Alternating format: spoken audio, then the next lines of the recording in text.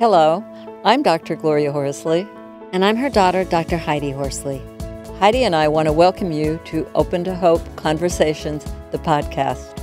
We believe that the greatest gift you can give yourself after a loss is hope, using this moment to connect with others who have not only survived but thrived. So let's get started.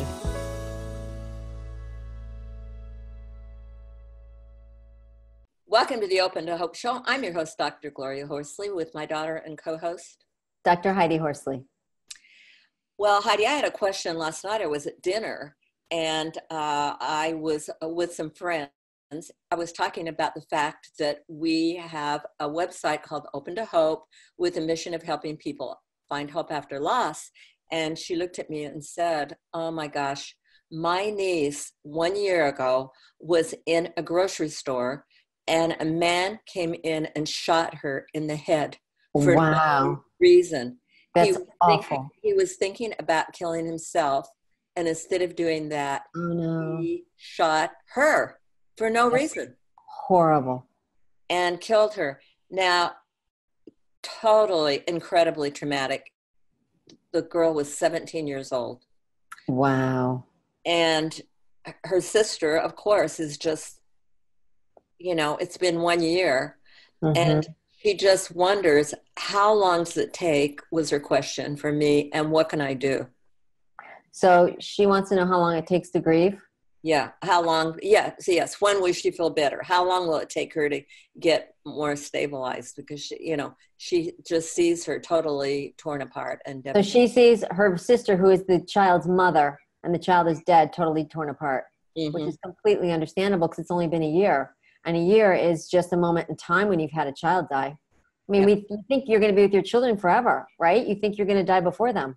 the, and the family is uh, from the south and they're hunters and they have guns and things like that and they've always been you know advocates of gun the nra and that kind of thing and here this guy comes in and randomly shoots so interestingly enough one of the things we often see is happening in this case is the father has now gotten involved with the rifle association and talking about safer guns because we often see guys doing this don't we heidi? The father takes action so she sees her her uh, sister's husband as being more um, more with it capable and my sister's not doing well because So the, the husband is get, getting gathering around the the gun control laws. It sounds like, and I don't know what kind of gun it was. I mean, you know, there's hunting gun rifles, and that's one thing, and then there's assault rifles, which are a whole nother thing. So, uh, so it sounds like he's got a he's got a mission, is what you're saying.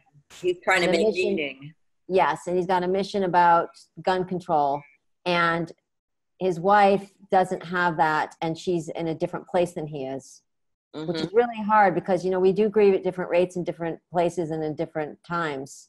So you know we're all going down our own path and it, you know it's hard when you're married and your husband's in a different place because you and dad didn't always grieve the same. No absolutely not. And uh, dad went to work. So yeah so it is a different kind of thing. And with this family um, she's seeing what uh, pat is seeing is she's seeing her sister as being less functional because she's looking at him and going out. But you know candace lightner who started mothers against drunk driving was one who went out right away. Um, she actually like the next day uh, her uh, sister-in-law said to her i think you're going to start an organization. That's going to be called MADD. And Mhm. she spent her whole time in legislation but she said that you need to grieve.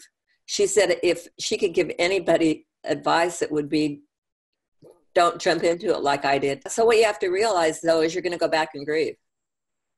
Right exactly. And the other thing i want to say is that sometimes men will look like they're doing better than they really are. Because as you know we wrote a book called real men do cry with eric hipple who was a quarterback for 10 years with the detroit lions. And what eric said in this book real men do cry was that men have been taught to suck it up walk it off not show any emotion. Big boys don't cry they've been given all these messages so they have to wear this mask which makes the world think that they're not grieving. When Mhm. in, when in reality they are grieving they're just not doing it as publicly. Right. So you know um, a year is not a long time for anybody and for any kind of loss. It's Mhm. uh you know that first year you're pretty frozen and you're kind of going through the first the first christmas or you know and you've got a lot of family support. One of the problems with um, you know looking like you're really functional and all that is sometimes uh, people expect you to have moved on after the second or third year.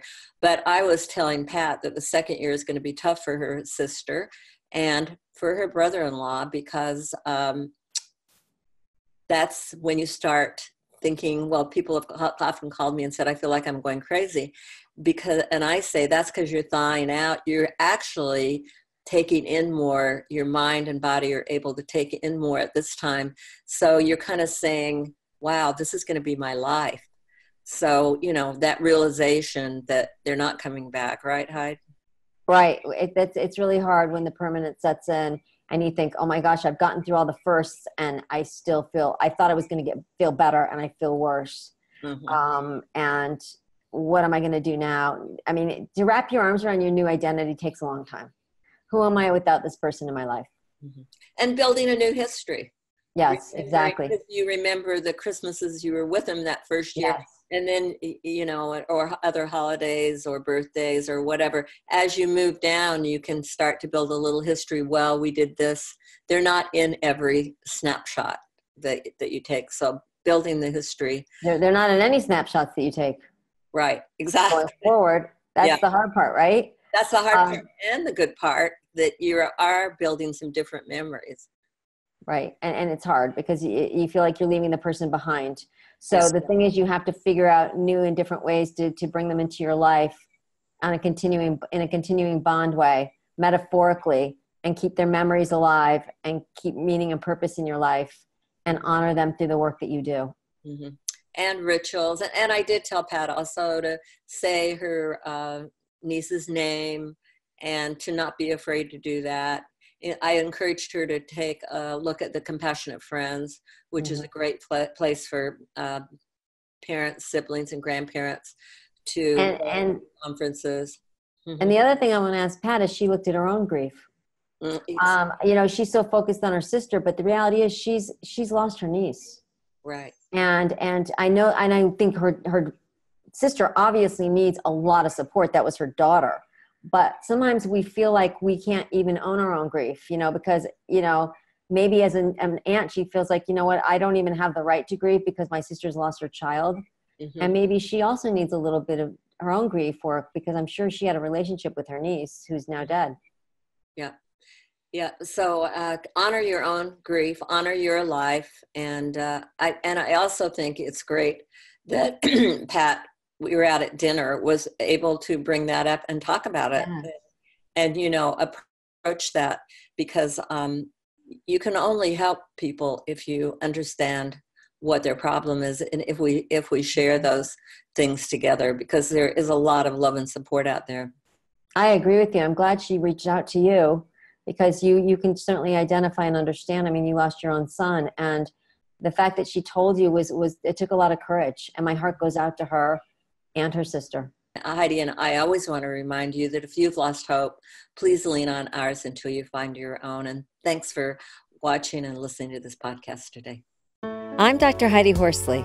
You have been listening to Open to Hope, the podcast. You can follow Open to Hope on Facebook, Instagram, and Twitter.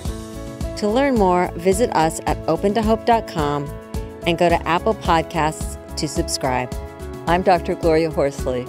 Join us again next week for another Open to Hope conversation, where we invite you to lean on our hope until you find your own.